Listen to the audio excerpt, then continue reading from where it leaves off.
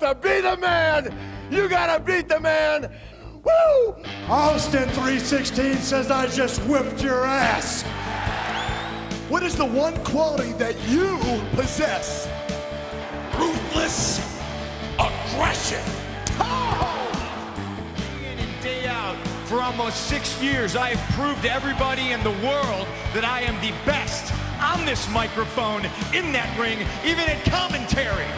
Nobody can touch me. Nagy szeretettel üdvözlök mindenkit, ez itt a Pankráció történetének legendás pillanatai. Én Bárt vagyok, és velem van a doktor. A nehéz időszakok után újra egy újabb luppal jelentkezünk, hiszen túl vagyunk rettentő minden, ezért egy kicsit parkoló pályára került az elmúlt pár hónapban a legendás pillanatok sorozatunk, de nem hagyunk föl vele és folytatni fogjuk, még akkor is, amikor nehéz időkbe kerültünk.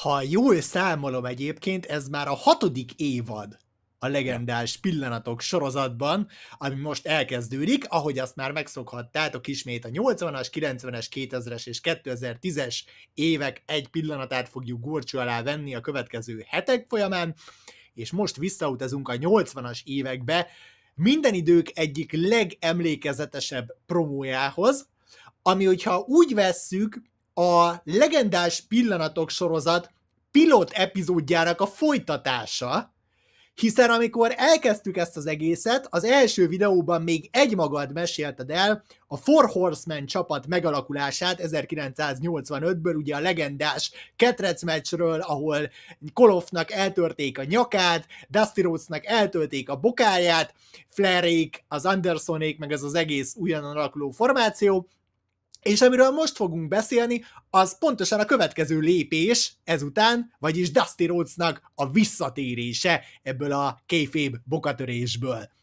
Srácok, Dusty Rhodes a Montrasmore-ra való konkrétan, szóval a biznisz egyik legnagyobb alakja.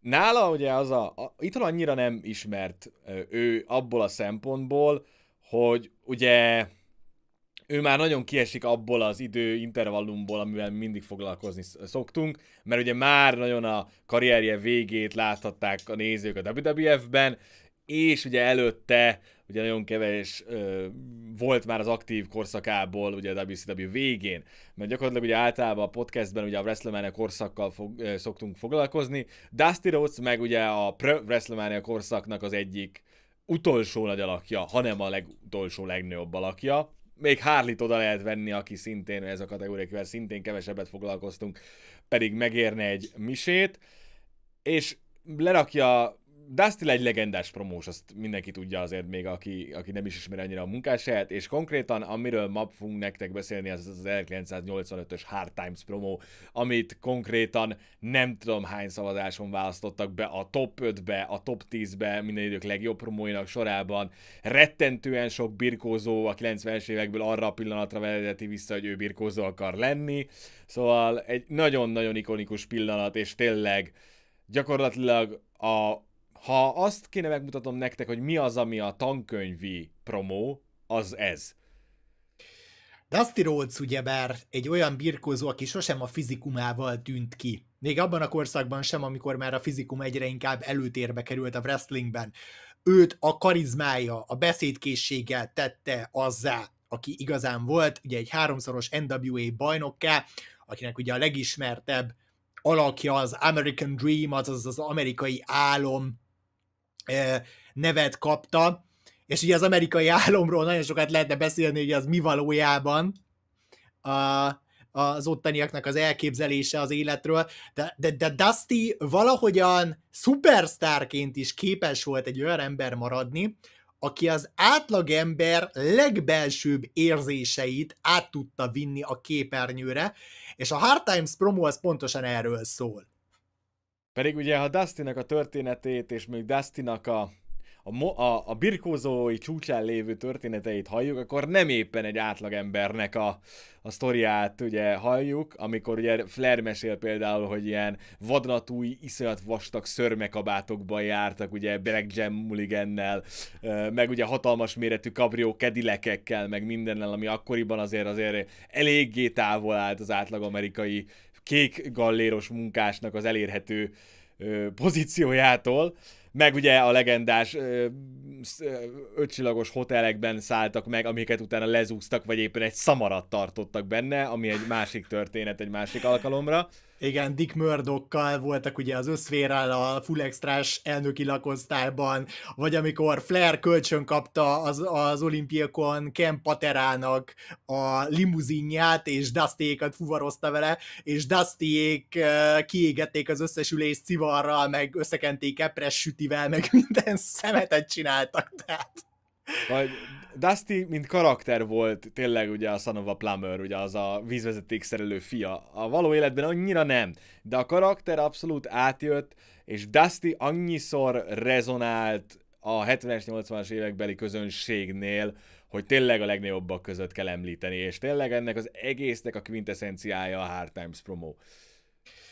Ugye az előzmény tehát az, hogy 1985-ben Dusty Rhodes egy pár éves kalandozást követően, amikor hát mindenhol megfordult nagyjából a wrestling világban, még New Yorkban is, ahol Superstar Billy Graham-mel kétszer is birkózott a Madison Square Gardenben. Szóval 85-ben elfogadta Jim Crockettnek az ajánlatát arra vonatkozóan, hogy térjen vissza az NWA szervezetbe, ahol nem csupán mint pankrátorként, hanem mint bukerként is számítottak az elkövetkezendő években Dustynak a tudására és az agyára. Dusty egy old school buker volt egyébként, tehát nem az a fajta buker, aki jó előre tervez és onnan visszafelé dolgozik, hanem általában hétről hétre hétre gondolkodott, de kifejezetten jó ötletei voltak. Ugye a bajnoki címmérkőzéseknek ezt a legendás lezáró fordulatát, amikor a közönség azt hiszi, hogy a Babyface legyőzte a gonosz Hill bajnokot, de aztán megfordítjuk az eredményt, mert lejárt az időlimit, vagy valami egyéb galátság történt, azt is nem véletlenül hívják Dusty finishnek.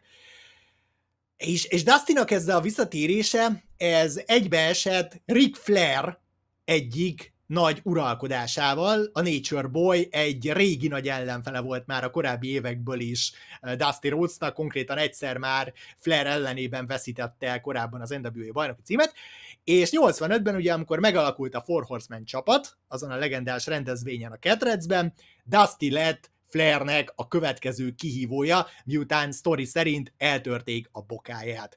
És a Mid-Atlantic Wrestling televíziódásában 1985. októberében Dusty megérkezett az emberek elé, akik egyébként visítanak, de tényleg, mint a vágási malac, amikor megjelenik Dusty, és elkezdett nekik beszélni iszonyatos energiával, és ugye CM Punkra szoktuk ezt mondani a mai wrestlingben, hogy tök mindegy, hogy igaz-e, amit mond valójában, mert úgy, ahogy előadja, elhiszed neki, hogy őszinte. És Dusty is pontosan ez a kategória volt.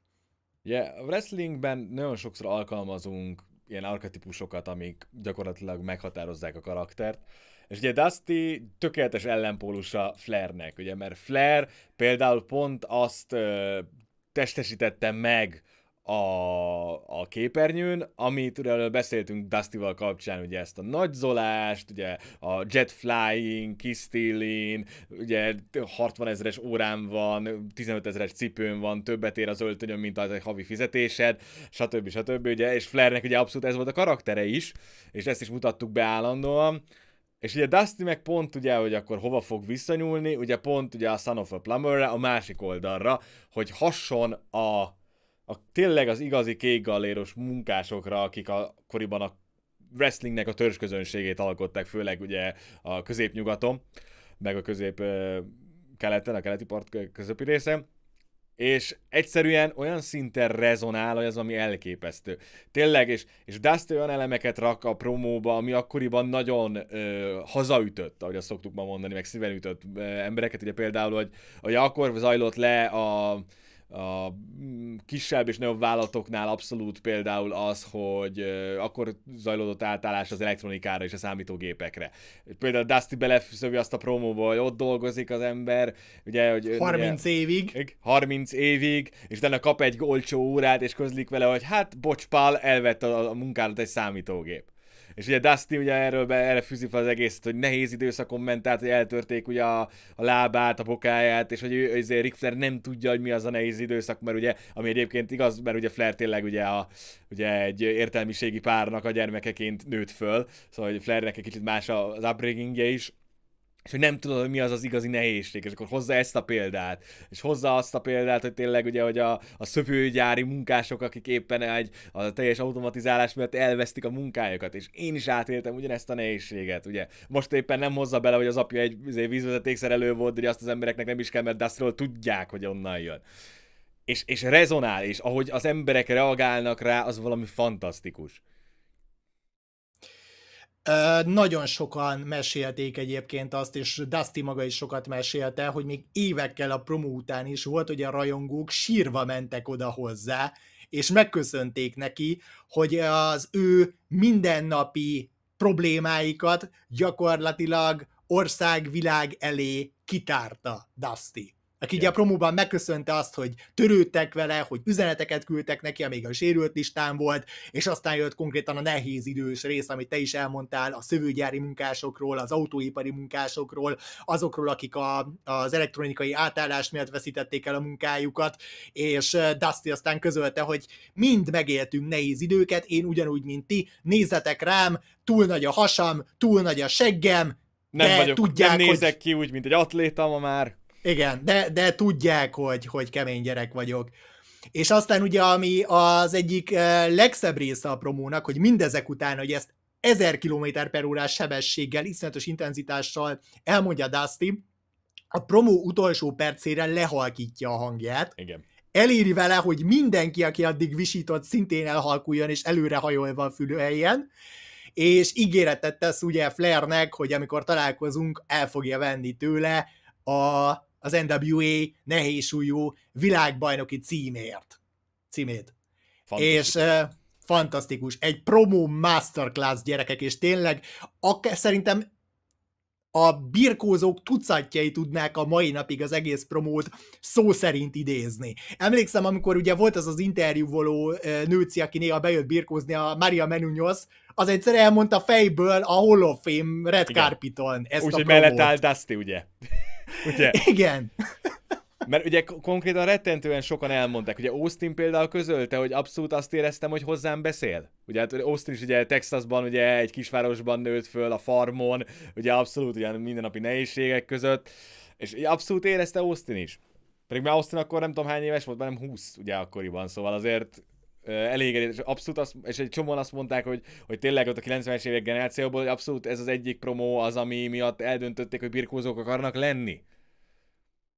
Mert hogy ebből a körülmények közöttből és ebből a háttérből is lehet valaki a bizniszben ekkora sztár. Dusty itt ismét megvillantotta, hogy micsoda agya van a bizniszhez, amit egyébként később még sokszor megvillantott, és az NXT korai éveiben láthatjuk a mai napig annak az eredményét, hogy ő mekkora tanár is volt, Igen. azon kívül, hogy mekkora előadó, és hogy meg micsoda űrt hagyott maga után a halálával a WWE képzési rendszerében. Egészen el, elképesztő, tehát Dusty Rhodes egy Kicsit ellentmondásos figura volt sokszor a színfalak mögötti viselkedéséért, de mint előadó és mint wrestling mind a legnagyobbak egyike, és ezt a promót, hogyha még nem láttátok, akkor sitsz a YouTube-ra és nézzétek meg. A WWE-nek a YouTube csatornáján fönn van és elérhető a teljes egészében lévő promó is. Ugye, és Dustinnak tényleg a karrierje ezután már egy picit lefelé áldozott. Ez volt az utolsó nagy, nagy futás, ugye a nagyon nagy futás. Utána már inkább tényleg a színfalak mögött helyezkedett el, ugye Flairnek meg a karrierje abszolút a, magasságokba ért el a feud kapcsán, és hogy Ric Flair lett minden idők legutáltabb babyface abban, vagy baby, minden idők legutáltabb hílje abban a pár évben, amikor ezt a Four Horseman-es feudot csinálták Dusty-val. Egyébként bár ezt még nem hívták Dusty Finishnek, konkrétan az ebből származó mérkőzés is egy Dusty Finish volt a Starcade 85-ön, mert a Horseman többi tagja beavatkozott a mérkőzésbe, megtámadták Rhodesot, a bírót kiütötték, aztán a következő bíró, amikor bejött, leszámolta a hármat Rhodesnak egy Inside Cradle-nél, és látszólag megnyerte a bajnoki címet, de aztán később ezt úgy változtatták meg, hogy már korábban diszkvalifikálták Flert a külső beavatkozás miatt, és nála maradt a a, az érem a továbbiakban. És utána még egy két hétre megkapta Dusty az NWA bajnoki címet pályafutása során harmadszor 86-ban, szintén a Flair elleni viszály során, ami, ami tényleg kitartott egy darabig. Egy, egy biztos, hogy ez, ez egy legendás promó is a 80-as éveknek az egyik. A 80-as évekbeli birkónak, a WWE-n kívüli birkónak az egyik abszolút non plus ultrája És, és mennyire érdekes nem, hogy amíg a WWE így már ebben az időben is e, teliben nyomatta a képregényhőseket gyakorlatilag a wrestlingben, ott van a másik oldalon e, Rhodes is, meg Flair is, akik eltérő végletből, de azért mégiscsak a való életet reprezentálják, nem? Abszolút, abszolút, hogy tényleg a, hogy ilyenkor lehet vitatkozni, hogy mi az, ami jobban rezonál a birkózásban az embereknél. Azt, ha a valós életet emuláljuk, vagy pedig azt, hogyha valami teljesen fikcionális próbálunk kreálni. Hát nehéz eldönteni. A 80-as években az emberek úgy gondolták, hogy a, a fikcionális az, az jobb, vagy Vince csinált valamit jobban, azt már soha nem fogjuk megtudni, erről lehet órákat vitatkozni, és már meg is tettük. De ennyi volt a mai pillanatunk. Tényleg nézzétek meg a promót, akik még nem tettétek és Dust Baby azt mondja nektek, hogy nézzétek a wrestlinget, mert az mindig jó, kövessetek minket mindenhol, ahol szoktatok, csatlakozzatok a Szorító Klubhoz, a Discord szerverünkön, és majd találkozunk a következő videóban, addig is tudjátok, hogy mit kell csinálni még. Trust you, Dr. Baby! Bízzatok a doktorban! And the wrestling is fun! Sziasztok! Sziasztok! Köszönjük, hogy megnézted a videót! Hagyj egy kommentet, meg egy lájkot, és iratkozz fel a YouTube csatornánkra. Ha néznél még egy kis szorítót, itt találd a sorozat lejátszási listáját, valamint a legújabb videó. Az élőadásainkért kövess minket Twitch-en, támogass minket Patreonon, valamint csatlakozz a Szorító Klubhoz a Discord szerverünkön. Minden linket megtalálsz a videó leírásában.